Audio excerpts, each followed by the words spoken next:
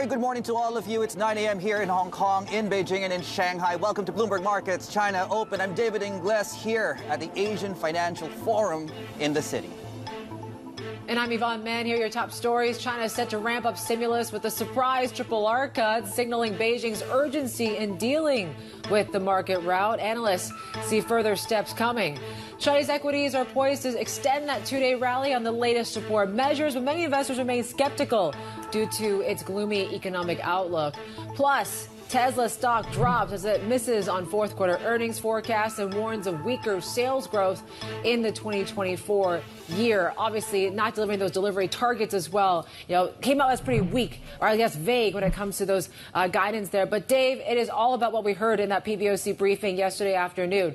It was a deeper cut in the triple R, earlier than expected, and delivered in a way we haven't seen before. Absolutely, breaking from tradition. In, in, fact, this time yesterday, I was looking at the, the, the Greater China agenda for today. You know, that briefing was actually uh, slated, so you could actually see that they were going to say something. Uh, but, but, to your point, right? They broke from tradition. They don't. They normally post any announcements on monetary policy on the website. He came out with it live in a press briefing. So re- that really, I guess, in many ways, positively shocked markets to where we are. And perhaps uh, it maybe leads into uh, more action ahead. You know, fiscal and monetary in sync perhaps gets us out of this. Uh, I guess in some ways the cyclical rut uh, that these markets find themselves in, and, and certainly been you know an interesting backdrop, if you will, the weakness and the softness. Uh, against all the conversations we'll have here today. In fact, in about 30 minutes from now, we'll be focused in on just this, the drying up of, of deal flow and listings, fundraising with, with CICC. They'll be joining us in about uh, 25 minutes from now exclusively. The head of investment banking joins us. Plus, of course, as you can see on your screens, lots of other uh, sort of broader themes, including technology, finance, and how all of these things come together. So, yeah, lots to look forward to there. But in the meantime, of course, we're still focused in on these markets. We could get a day three, won't we, Yvonne? Yeah, we'll see. We're, we're, we're, set for that here. Futures, though, are pointing slightly to the downside here when it comes to A50 futures.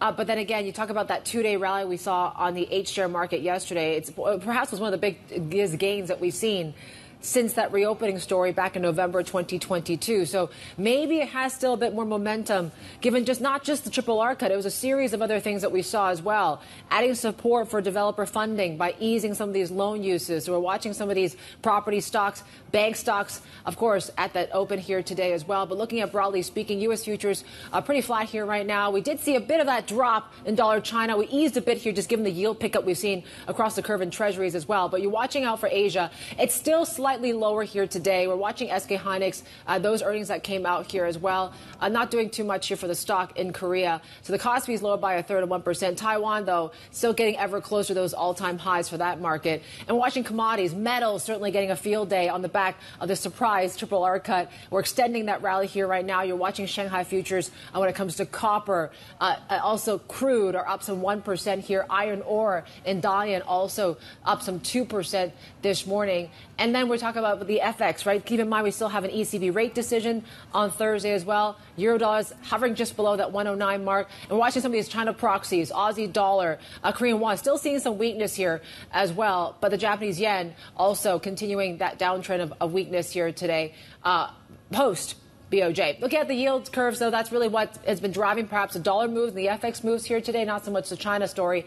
And you see basically most of the, the parts of the curve in the U.S. fixed income space is back to those levels that we saw when the Fed decided to pivot in December. So we're way well above 4% for your 10 and the 30s. We're watching the Aussie, uh, also bonds there up about basis points in the 10 year. And JGBs continue to see that climb uh, as well as we mark, of course, that hawkish comments from Ueda that came out just earlier this week. Of course, it's all about one governor, though. It's Pan Gongsheng and what he did uh, yesterday here, talking about that triple R cut. Let's hear more.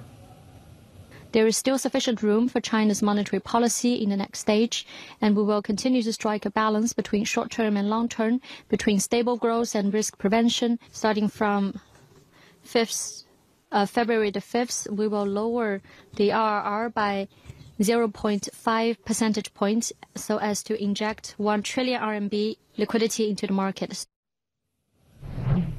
Let's bring our next guest, Zhang Zhiwei, President and Chief Economist at Pinpoint Asset Management. So it was interesting the way he did it, um, but yep. what was the rationale behind this cut, you think?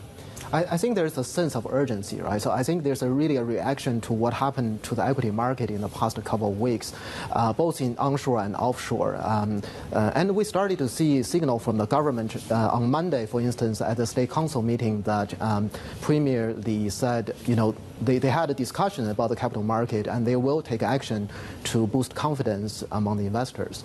And, and then we saw this triple R cut. So I, I, think this is a really a reaction to what happened in the equity market. I think there will probably be more actions to follow, uh, particularly in the interest rate cuts.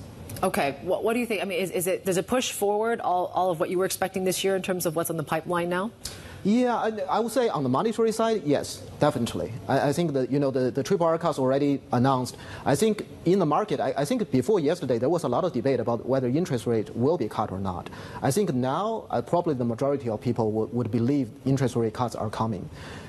So monetary side, definitely. Mm. But fiscal side, I'm not sure. That's the key thing, right? So yeah. for this rally to, to sustain, to, for, for people to change their macro outlook for China, the GDP numbers and so on, we need fiscal numbers. Uh, so monetary policy can help the sentiment for you know a few weeks or, or a little bit longer, but to change the long-term picture, you need both monetary and fiscal. Yeah, as you say, right? I, I don't think cheaper loans are going to do anything to boost confidence here right now. I, I want to get your take on this particular line that you thought was quite interesting mm. from the PBOC governor. The PBOC will provide conducive monetary policy environment for financial markets, including capital markets. Yeah why is this important that he said? Well, this is, this is very interesting, and particularly for people, you know, been following central banking business uh, for the for the past say decade. You know, look around the world. People, you know, central bankers they do a lot of things to influence the, the capital market, but they, they, they rarely they talk about you know, capital market as part of their objective functions. You know, they, they always say we cut yeah. interest rates to help, you know, inflation, uh, labor market, GDP growth, uh, even, you know, uh, balance of payment but they usually don't talk about the capital market as something that they really care about. They, they, they want to take action to address problems in the, in the, in the capital market. They, they talk about financial stability, but that's a little bit different things. Mm. So that's a very uh, uncommon remark. That, you know, some people may, may look at it and say, wow, does it mean that PBOC will do something like Bank of Japan to, to buy ETFs and mm. things like that? I mean, that's, that's, not, that's not my take, but I think some investors might take it that way.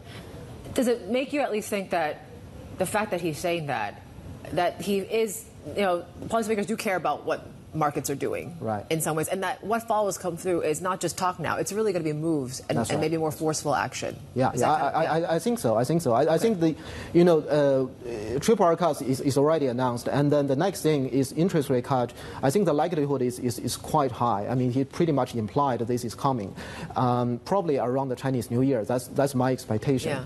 And then we're, we're heading into uh, the People's Congress in early March. I think the government probably working on the budget, the, the work plan, right? So I think the budget number is probably not finalized yet. So, you know, the pressure from the market may actually influence the thinking in terms of how they set the fiscal numbers. That's important. What, what are you thinking in terms of the fiscal side? What's still needed? Are cash handouts still well, still work in this well, economy? Yeah, so two things. Uh, first of all, is a highland number, whether you know the fiscal deficit can be higher or the total government spending can be can be higher. Even you know it's not included in the budget. Maybe there's some other you know sort of a special uh, bonds or, or, spending that uh, they, they, will, they will include. Uh, so that's one thing, the highlight number. And then the second thing is where they spend the money, right? So whether they put it in investment to build more factories, roads, or, you know, boost consumption, right? Send yeah. consumption coupons. Some cities in China are already doing that. Mm. Uh, that's a very big difference because China has deflation problem. So if you put money into investment, you actually make the problem even worse, right? So the, the right way is to, to boost consumption. So the, the mix of, of uh, spending is also important. They've, they've, been doing it in some cities, you say, cash handouts. Oh, yeah. Has it been working Shenzhen, then? I, I, think it does. I yeah. think it does. I mean, but, you know, these cities are small, yeah. and, and, a lot of these cities, they don't really have the fiscal capacity. Um, so, like, cities like Shenzhen have been doing this for for a couple of years by now. I mean, Hong Kong actually did this right yeah. very aggressively, and, and there's already academic research that shows it works. So um, hopefully on, on, the, on the national level, I think that, you know among economists there's a very strong consensus the government should move in that direction. Um, so so let's see. I mean we, we'll find out in the next couple of months.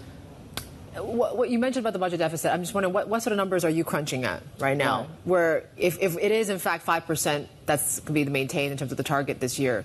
What sort of budget deficit do we need to see? Well, I think in the market, kind of a, uh, the current expectation is somewhere slightly above 3%. Yeah. Um, which, which is not, a, not aggressive at all. Uh, so, so if it is, you know, that's probably why the market was not doing very well in the past, uh, uh, particularly the past uh, month or so. Um, if the, the, the, budget deficit becomes more closer to 4% or even above 4%, I think that will be positive. Is all of this enough to, to get China out of deflation, or is this something that it's just going to take more than a year or two to, to kind of get out of this funk that we're seeing when it comes to, to well, deflation? I, I, think the uh, it really depends on the policy action, yeah. right? So uh, the faster you, you react, the, the stronger signal that you send, like what the governor did yesterday. Yeah. Um, and hopefully, you know, more policy from, from, from, you know, there's coordination between monetary and fiscal policy that we saw in other countries like Japan, U.S., yeah. Europe, that they did it already. If that kind of thing happened, then change the expectation. It, it could end within a year, mm. right? So um, but you know, the longer you wait, this could drag drag on, particularly feed into the expectation of property price. That, yeah. that will get things even worse. Yeah. Okay. Wei, always good to have you. Zhang Wei there, President and Chief Economist at Pinpoint asset management. Uh, and coming up, going to hear from JL Warren Capital and CICC as well on what this means, right? Beijing's latest stimulus moves doesn't have enough firepower to really boost markets for the long term. We're also counting down the open of trade in Shanghai, Shenzhen, and Hong Kong. Of course, Hong Kong already reacted to that triple R cut yesterday. We're waiting for the A share market to wake up and see. Futures, though, paring back some of the earlier losses, were flat here this morning. This is Bloomberg Markets China Open.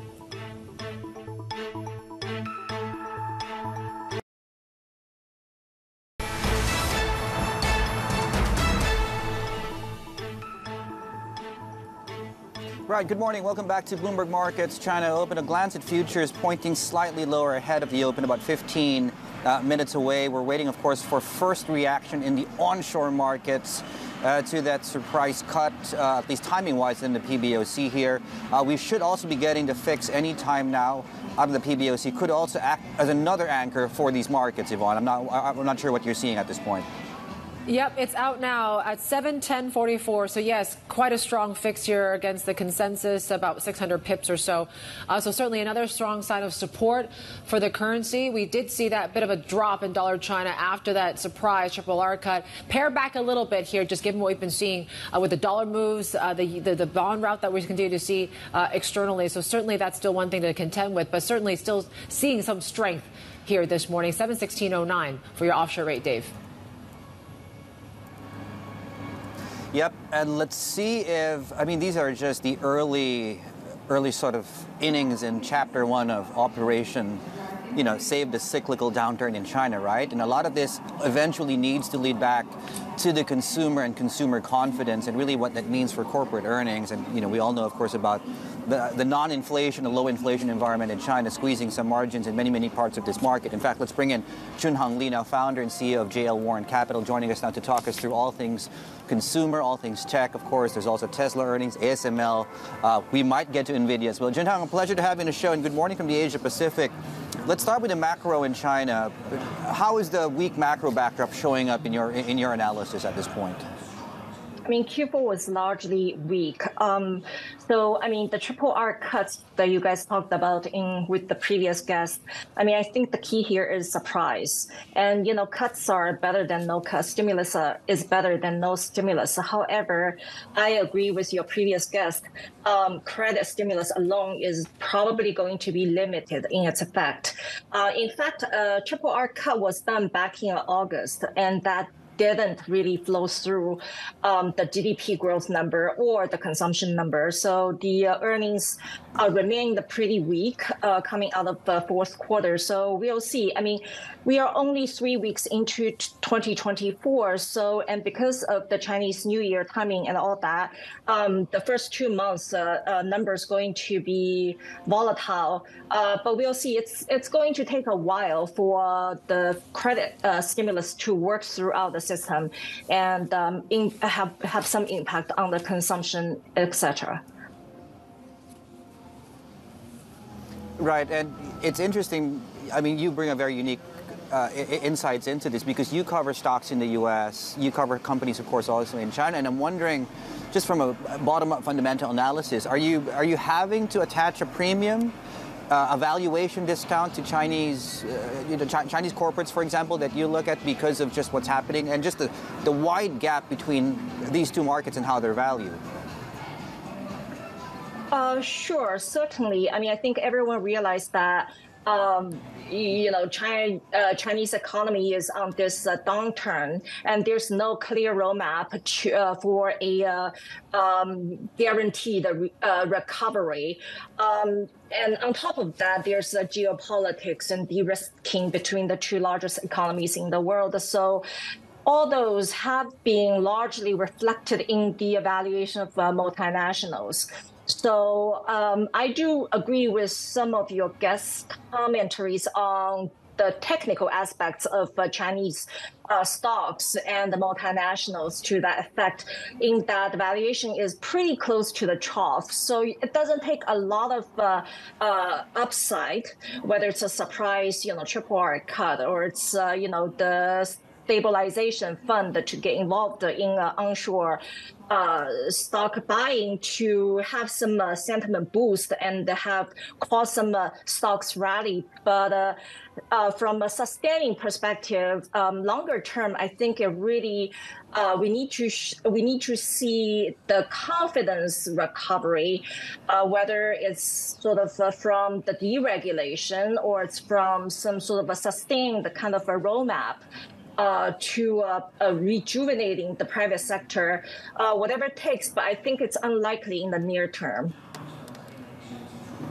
You mentioned before that you know for those that dabble into U.S. stocks uh, and want to get exposure to China, it's really more about trading those multinationals versus maybe even getting to ADRs. Are, are ADRs still yeah. on? Uh, you know, you can't touch right now. Yeah, I think the interest in ADR is so low right now. Um, most people, especially you know the serious money uh, in the U.S., um, such as uh, you know the long only uh, the established institutions like capital groups or um, Fidelity. I mean, they do you want to stay away from China because of the lack of visibility, um, whether it's from geopolitics or from FX or from you know the econo- uh, economic recovery. So the safer way, if you still want to participate, the China upside, potential upside, is really through the multinationals. And um, because you know then there's a diversification of uh, revenue sources uh, you mentioned about visibility. I think you know investors that were watching at Tesla were a bit disappointed because there wasn't much guidance here when it comes to delivery targets for the year. Uh, what do you make of the guidance from Tesla that came out? I think it implies that the peak growth, uh, the growth for EV leader Tesla in this case has already peaked.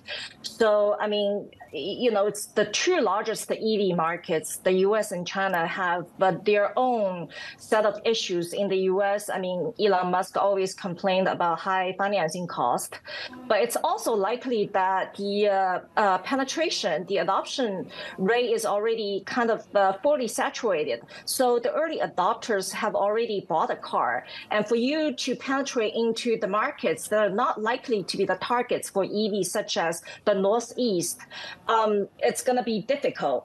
Uh, for China, it has a different set of challenges.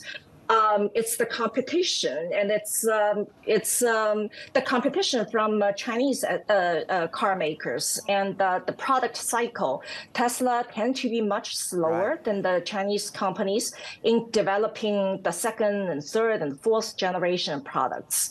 So I mean, yeah. So I mean, that all in all, it seems like the EV growth story has kind of peaked, and uh, it's all about like market share, who's going to take more in a slower growing uh, EV space. Mm. Junheng. All right.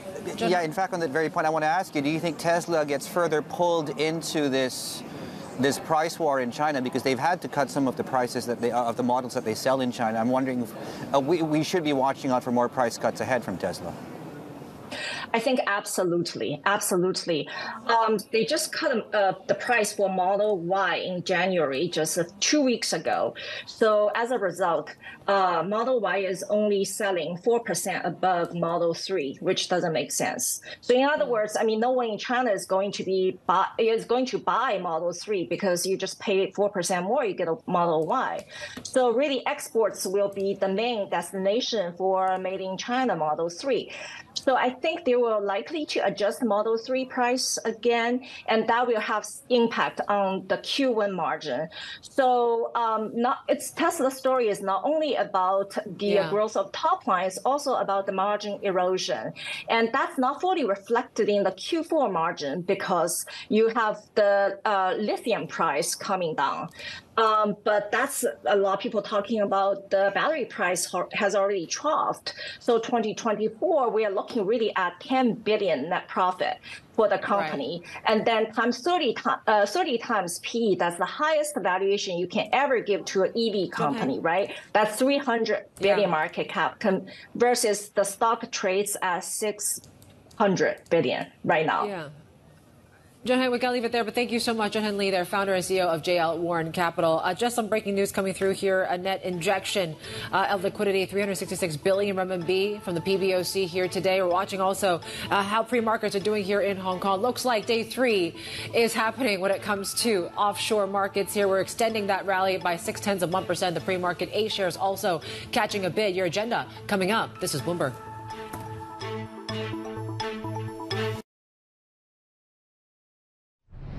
Never thought I'd.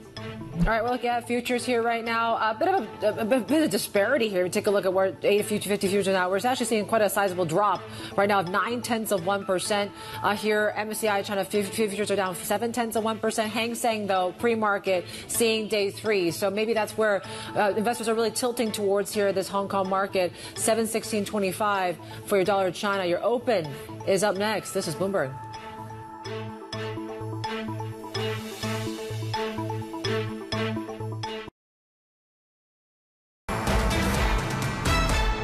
What I think they're trying to do right now is signaling we don't care about the stock market. You can see that by the fact that it has gone down year after year after year lately. But at a certain point, we're going to have to set a floor to let people know that the government is behind the system. And that's what they're trying to do now. They're just trying not to overpromise. And the question is will investors see that as enough? Yeah, there we go. Leland Miller, the China Beige Book CEO. Welcome back to the program. You're watching Bloomberg Markets China Open. 20 seconds and hopefully, Yvonne, 20 seconds to what could be a third day of gains in these equity markets. Is this still mostly short squeeze? Or are animal spirits really returning to this market? They've been missing for a long time. Yeah, you got to wonder is this just a tactical lift, you know, given that finally we're seeing some forceful action of the PBOC. They're listening to markets in some way. Hong Kong is responding to it continuously here for a third straight day. CSI 300, I mean, we saw that massive drop in futures leading up to this open. Looks like we're starting things off still slightly under pressure in Shanghai. CSI 300, we're still around that 32,072 level here. And we're catching a slight bit on MSCI China here as well. HS Tech, though, interesting to note, is in the red as we open. But look at metals. That is where you're seeing this being reflected across markets. Iron ore is up 2%. Shanghai crude up 1.5%. We saw those in copper futures as well. Of maybe this is where people are expressing that optimism that maybe we're finally seeing, at least on the monetary policy side, uh, that you know this was a forceful move, 50 basis points sooner than expected. And, and the fact that the PBOC governor delivered this live during this press briefing, uh, going against what we've heard before traditionally, where they announced it in the state council, does that mean a bigger message here that maybe more to come? That Pan Gongsheng not done quite yet. We're seeing in terms of sector by sector, it's a mixed picture. Financials though are doing okay. Developers though, there you go, in the far right corner, you're seeing that 1% pop there. Macau gaming is also up some 1%. So uh, you know, the fact that they not just with the triple R cut, there was also about extending loans to the property market, making it easier to get those loans. That was also part of the series of, of rescue efforts that we've seen uh, from policymakers uh, in the last couple days or so. And take a look at what, what is really moving this market. Let's focus on those property developers and see how things are going. Uh, obviously, watching Country Garden, Evergrande. Those two are still heading lower. We did see a, a decent pop mind you, in the Hong Kong market, right, as they reacted to the triple R. So maybe, you know, that's not lasting too long here on the property shares. But look, ICBC continuing those gains in the A share market. We're up eight tenths of 1%. And Alibaba, after that 7% pop yesterday on news of Jack Ma buying its shares, uh, we're seeing a little bit of downside here today. Watching, of course, the EV supply chain. Uh, also, EV makers like BYD on the back of those, uh, you know, guidance from Tesla, which analysts are saying were vague, inconclusive. Uh, maybe just goes to show maybe it's the peak, as, as Junheng Li just told us. There's a BYD is down some 3% here right now. CATL, the battery maker and supplier to Tesla as well, also lower. And we're watching some of these Boeing suppliers as, as well, given the FAA in the last couple hours with that news of them halting the Boeing 737 MAX production expansion. Uh, not much change there when it comes to those on the supply chain, Dave. Yep, uh, we'll continue to track these markets. A lot of earnings coming through. I think the, the, the point you just made a few seconds ago, Yvonne, on I think Jack Ma and of course uh, Joe Tsai coming in and New York Times article they're buying, of course, thinking that Alibaba is undervalued. I guess in many ways underscores the what the, the, the, cheapness this market is trading in, and maybe perhaps uh, what lies ahead as far as maybe deal making is concerned. No better person to talk about that. Joining us here on set at the AFF is uh, Barry Chan, of course, Managing Director and Head of Investment Banking Hong Kong at CICC. Good morning. Morning, David. Thank you for taking the time. I know it's very busy. You have a very packed schedule today. So, what, what have you guys been busy with?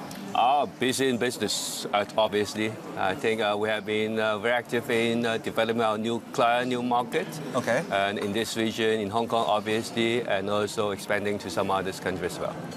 Market sentiment has been weak, uh, to, and I, I, I, like how it's almost comedic at this point. Um, what's keeping an investment banker busy while things are extremely quiet? And when do you think things improve? Oh, I think it's a good, good time for us to get ourselves better prepared because, uh, okay. to be honest, no one knows when the market will come back, and hmm. it would be a general belief that the market will come back one day. So, so I think it, we should be better prepare ourselves to yeah. get the pipeline, to get a client ready, and if market come back, we can be the first one to be back to the market. Right, and, and give us a sense of the, you know, where you think activity might pick up, which sectors, which clients specifically, or which sector specifically, do you think that will start to show up? I think put it this way, people now, uh, especially investors, are quite losing confidence. Yeah. What I would say is to try to rebuild the confidence. Then where the confidence will come from? Possibly go back to the basic is those good company, those company that will be able to make profit, to be able to enhance the productivities. So what we see, what I see would be something like um, uh, technology, um, advanced manufacturing, and uh, green. I think that is the theme that people are looking for in the futures. Do people have money or are they looking to raise money right now? In other words, they've been sitting on, I guess in some ways, dry powder, just looking to deploy that money. Do you get a sense that there is money lying around or do you think people will need to uh, raise more money in capital markets at some point? I think obviously people have money. Otherwise, those um, wealth management, you ask them, right. they have very good business in the last year. It just depends on where to put the money, where to put the money to get it more productive and efficient. So again, we come back with some good company, good investment opportunities. Mm. I'm sure that this money will come back. A deal volume this year, fundraising, IPO market. Do you have any insights on what, what 2024 looks like? Because 2023 was a very soft year for fundraising in Hong Kong. I think no one will be able to predict precisely right. what's going to happen. What we try to do again, so if the theme is to rebuild the confidence, mm. is to try to bring some good company to the market. Some company like, especially those A-listed company, it will come to Hong Kong, sizable, mm. demonstrated um, profitability in past, dividend payout ratio. I think that is something that the market would love to see that. Right. You mentioned building business and preparing for the eventual improvement in the market conditions. Is appetite still there? Uh, just to pick up on your point of companies onshore in the Asia market just waiting on the sidelines to to raise some money here in Hong Kong. Is that an accurate way to describe what's going on? I would say it's waiting. I mean, every business they always want to advance themselves in terms of the capitalization as well as the business. Mm. So what we want to do is again to pick the good company yeah. to be here and especially in this moment of time, I think it's also good for us to link in some others and new money, I would say like what AFF are doing today. Right. We see to this year AFF compared with previous years, we see some new market, especially those from the Middle East. I think that's also the linkage that we want to bring them to Hong Kong, bring them to China. That's interesting because as I was walking here this morning, there's actually a very big hall there simply on Hong Kong and Dubai, for example. uh, I know you guys are might be busy in the Middle East uh, this year. We can talk about that next time, but give us a sense of what you are expecting in terms of cross-regional flows between Hong Kong and the Middle East because we've seen really a lot of business delegations head to the Middle East out of Hong Kong and China last year. Yeah, I think last year we see the chief executive has went to the Middle East for the official visit, mm. and uh, what we see is the theme from the Middle East is that they try to want to do this transformation of the economy okay. reducing, relying on only oil or energy to have some other thing to do, like the new energy or even tourism, pharmaceutical. That is something they want to develop. I think China has definitely very good experiences in this kind of industry, as well as the industrialization in the last two, three decades. Vice versa, the sovereign wealth fund, especially in those regions, is well known for their deep pocket. Yeah. So I think they also. I heard looking... they have a lot of money. I think they're looking for the investment, good investment in this region. Right. As a matter of fact, we closed a deal where we bring this uh, sovereign wealth fund to invest in one of the Chinese company for a small amount, but 200, 20 million, but it's also very significant in terms of a landmark development for them to come to China. Do, do, we, do we get more of that? Hopefully. Okay. yeah. Well, uh, what, what I was going to ask you the broader role you think CI, you know, a unique bank like CICC can play in, in that. Are you looking to take money here, or are you looking to take money to the Middle East from, from Chinese money to the Middle East? Like, which way do you think it's going to be more busy? I think both ways. Okay. Yeah. Both ways means that um, maybe people would think that the Middle East is well known for their for the money, but vice versa, there's also some Chinese money in the last two decades developments. We have a good of saving. Mm. People is looking for not. I mean, for example, their production plant okay. and manufacturing base. They need to go outside China for a better location, better taxation, better uh, productivity, etc. So I think that is also the one of the direction that we're seeing that. Mm. I think it was a few months ago since you brought it up. I was speaking with a, Chinese solar equipment maker, yeah. and I think the plan is they, they want to take some of their production capacity, I think put up in Saudi, for example, it's a good example. Is that a trend you think we'll see? Production capacity of Chinese companies home-based in parts of the Middle East? I think it makes perfect sense. It makes Why? perfect sense in the sense that, like, um, if the ultimate market is somewhere like in Europe, in terms of the logistics trans- transport, mm. you will go to Middle anyway. And in terms of the, as I mentioned, taxation, they are they're well known for their no tax, mm. not low tax.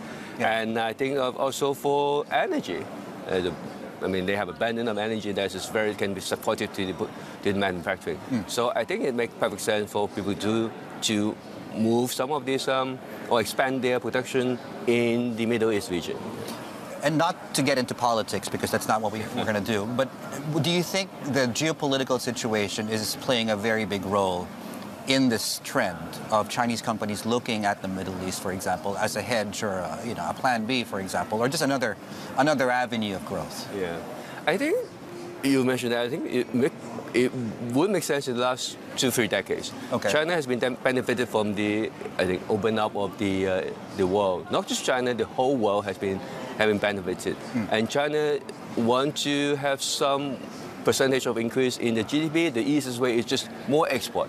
But now we see that well, to some extent, you will have a plateau somewhere. Right. So we need a new market. I mean, I mean, naturally, Middle in the past have not been very active in terms of this kind of trade or cross-border investment. I think that will help to give more energy for continuous growth of the Chinese economy. Final question, since we're here in Hong Kong, I mean, you attended this conference before, right? As a regulator, of course, and now, of course, with CICC over the past few years. It's it's relatively quiet still. I, you know, it's, it, the traffic hasn't really come back. Do you get a sense that the financial services industry here picks up this year because the job market's been soft and front office roles, as you probably know, are not not in as demand as, as before? What's your sense of the improvement we'll probably see this year? Mm, I would say I've always tried, I would be optimistic, if not in the lo- short term, at least in the long term. And we have been so-called suffering in the last four, three, four years. So it may be a good, good time for people. Again, you have money, pick the good investment. If we still have resources, as you said, there's talent in the market. It may be a good opportunity for us to pick the best talents to help CICC. Yeah, I think there are lots of, there's a lot of available talent right now looking for a home. Barry, nice to see you.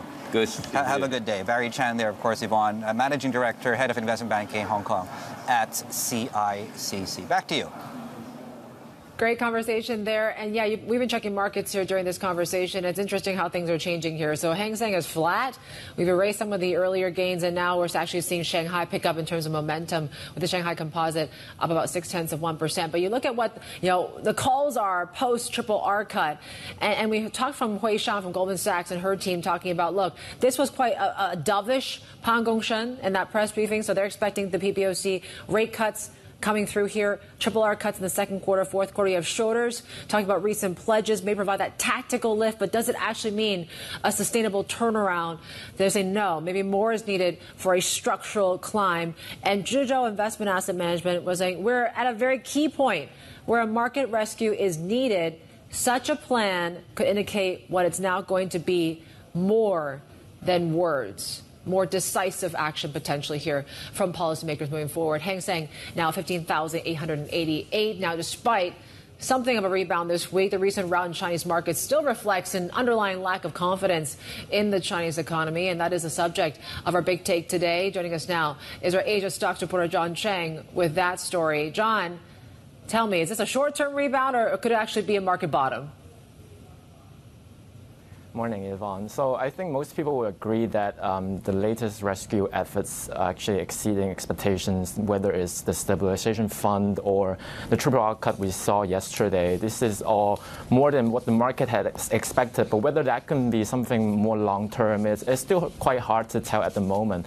Most people I spoke to agree that there could be a short term tactical bounce just because you know valuations are cheap, um, investor positioning are very light. Um, we have the BofA survey from last week seeing um, Asian fund managers are most underweight China stocks in um, many, many years, and also most benchmarks are oversold by now. So, you know, there can be a, a short term bounce, but whether that can be something more long term is quite hard to tell. And if we use the experience from the 2015 market crash, you know, when the regulators step in to rescue the market, that usually marks the bottom. But this time around, the situation is probably a bit different because we have so many structural problems in China's economy. So, you know, I think the key really lies in whether there's more persistent effort from authorities to rescue the market, and that will be something people are very closely watching out for.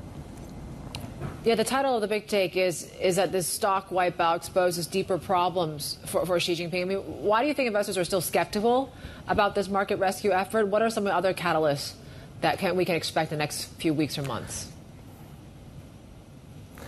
So I think the situation has really evolved into a confidence crisis not just for uh, foreign investors, but also impacting local households and retail investors. So, you know, and, and confidence is a very tricky thing to revive, right? So um, people are saying, you know, um, this confidence crisis um, this doesn't necessar- necessarily um, guarantee a big bang or sort of broad stimulus to revive, but you know it, we need to see consistent efforts from regulators, and uh, you know um, that is something market will be very closely watching out for, and something to look forward to would be you know Lunar New Year's New Year holidays are coming up, and you know February is usually a light period for macro data, so any spending data from the holiday period, you know whether it's travel data, whether it's movie box office, will be very closely monitored. And also, we have the two sessions coming up in March, so that would be another key to key thing to watch as well. John Cheng, our Asia stocks reporter, joining us out of Singapore. Make sure to check out his team's big take here today. A deep dive into, of course, this stock sell-off in China. We got plenty more ahead. This is Bloomberg.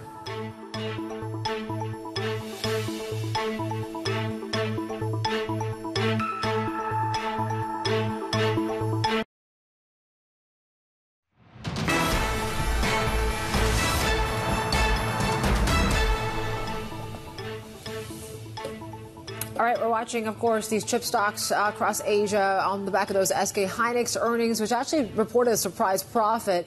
Uh, also bets when it comes to AI chip demand. That's not really helping the stock here this morning. We're down about 1.5%, but it is lifting some of the other chip makers across the region here. You take a look, Samsung is up. Taiwan Semi is also up more than 1% here right now, Dave.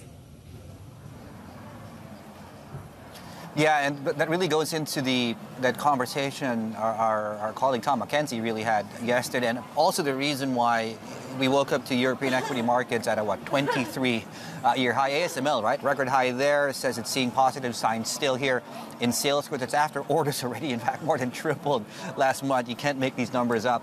So the CEO, in fact, even told us about the outlook for China after export bans came into force, and with Washington even looking to curb uh, these tech ambitions of Beijing. Have a look.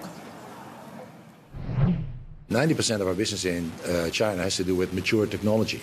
And that's the technology that we need for all the major transitions. You know, if you think about energy transition, the uh, electrical vehicle transition, digitalization, rollout of uh, the smart grid, uh, uh, uh you know, life sciences, it's all mature technology. That's where the masses are. Yeah. So, what is your message to those in Washington, lawmakers in Washington, lawmakers in The Hague, even?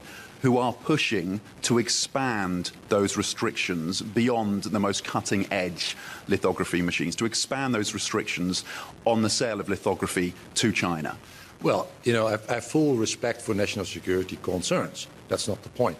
But I think we need to uh, take into consideration that this the chip industry has created an almost seamless ecosystem across the globe that has given us massive advantages in terms of innovation and cost reduction. So that from an economic point of view, we need to make sure that that economic uh, system that we have created, which has given us so much benefit, that we keep that intact. Uh, it's not about national security. Mm. It's about making sure that innovation uh, can keep going. Yeah. You are, you're stepping down in April. Does your successor at least have to war game the possibility, the scenario where ASML has to operate in a global market ex China? Well, you know, uh, I don't know whether he's wargaming. I don't think he's a gamer, to be very honest. You know, we'll just have to deal with the reality. But I also, you know, I'm an, I'm an optimist that worries a lot, uh, and I do believe that uh, we have created, uh, you know, uh, uh, macroeconomic systems that are so dependent on each other that um, I think that is a, a, scenario you can always put into a into a game, but I don't think that's a very realistic one. You do not have generative AI without ASML. It's as simple as that. Without your extreme ultraviolet lithography machines. How much demand are your clients saying they are seeing for chip making equipment to generate those kind of AI chips? Well, let me first of all say that I think the full extent of what AI could bring is not totally clear because it's all about the applications. Yeah? Uh, and that still needs uh, to develop. But one thing is absolutely sure it's, it's going to need massive amounts of compute power and storage, data storage. So I think um, without um, uh, ASML, without our technology, that's not going to happen. So it's, it's, it's very clear that it's going to be a big driver going forward for our business and the business of our customers. ASML CEO Peter Wennink there speaking to Bloomberg's Tom McKenzie. We're checking markets here once again, and yes, uh, it looks like markets are turning a little bit less optimistic, or at least failing to really embrace this triple R cut. You take a look at how onshore markets are doing. And yes, it is still, we've erased some of the initial gains. We've been swinging between gains and losses really uh, in Shanghai. Hang Seng is now lower, and HS Tech is really dragging things. We're seeing that benchmark down uh, more than 1.5%. Keep in mind, though, last two days, uh, that's where you really saw a lot of the action, this rebound in Hong Kong. Maybe it's time to take some profits, but certainly you are seeing optimism in commodities. Take a look at that. You're seeing Shanghai crude, copper, iron ore still rallying there in China. We got plenty more ahead. This is Bloomberg.